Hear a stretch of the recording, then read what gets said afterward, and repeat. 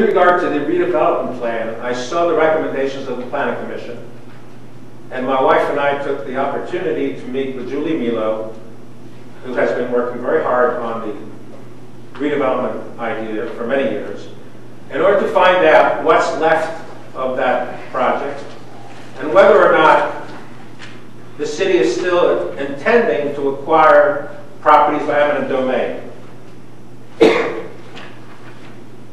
Until uh, Mrs. Milo gives me permission to discuss what she and I discussed with my wife being present, I won't repeat anything here.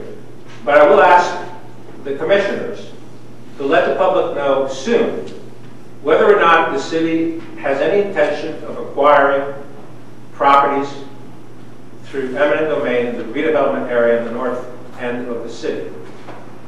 Because if you do not, you're giving the chance at sensible cooperation from the public that opposes the whole redevelopment idea, you have you give that a chance to grow and plan better for the future of the city by trying to bring up that end of the city aesthetically and financially.